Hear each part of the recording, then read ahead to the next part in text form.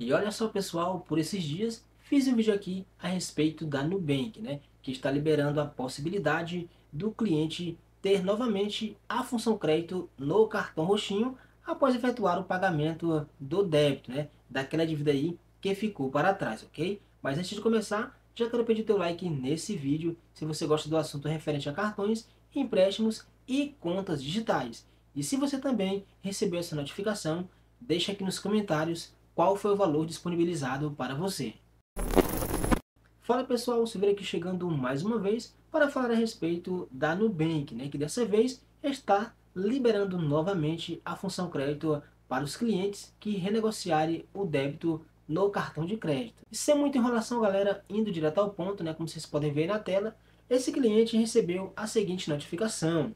Negocie sua dívida e reative seu cartão de crédito com 200 reais de limite. Né? Então, se esse cliente efetuar a renegociação do contrato aí junto à Nubank, ele pode conseguir aí 200 reais de limite no roxinho, ok? E aí, como vocês podem ver, a notificação fala o seguinte. No Nubank, estamos buscando novas formas de ajudar a alcançar seus objetivos. Por isso, estamos te dando uma segunda chance de ativar o seu cartão de crédito. Após renegociar e quitar sua dívida, você terá acesso novamente ao seu cartão, com limite inicial de 200 reais. É a oportunidade perfeita para organizar suas finanças, construir um bom histórico de crédito e aproveitar todos os benefícios que o Nubank oferece.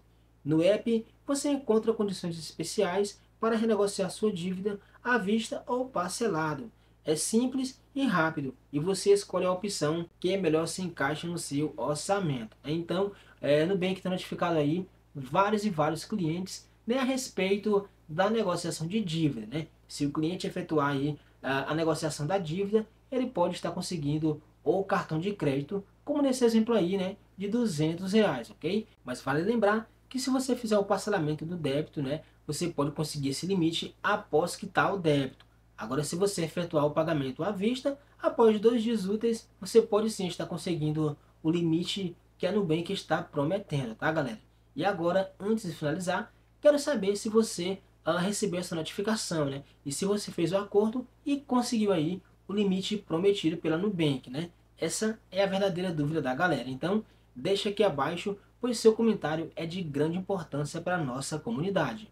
E não se esqueça de fazer parte do nosso grupo de WhatsApp de forma totalmente gratuita e tirar suas dúvidas e também agregar aí conhecimento junto aos outros participantes, né, sobre cartões, empréstimos e contas digitais. O link vai estar na descrição do vídeo. Forte abraço e a gente se vê na próxima.